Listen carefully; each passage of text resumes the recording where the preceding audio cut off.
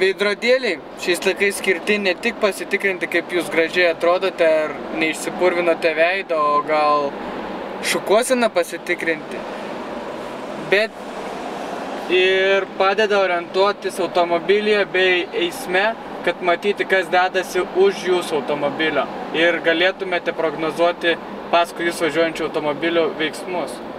Pradedame reguliuoti veidrodėlius nuo viduje esančio veidrodėlio. Svarbu, kad jo abiejose kampuose mes matytume pilnai galinį automobilio stiklą. Jeigu veidrodėlio nėra, tada reguliuojame iš karto šoninius veidrodėlius.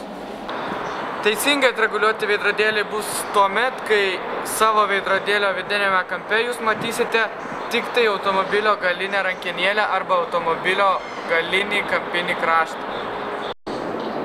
Jeigu mes pačiame auto, automobilio veidrodėlio, veidrodėlio viduje matome tik patį patį plačiausią mūsų automobilio kampą, taip mes sumažiname savo akląją zoną, o tai yra labai svarbu.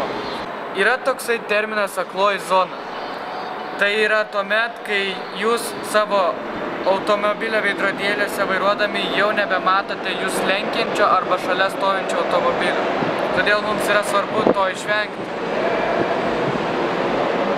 Žinodami, kur yra mūsų akloji zona, mes galime saugiau vairuoti, nes esame jau šiek tiek budrus ir galime įsivaizduoti, kad galbūt ten bus automobilis ir persirikiodami ar vieną ar į kitą pusę jau elgsime šiek tiek atsargiau ir gal anksčiau parodysime posūkio signalą.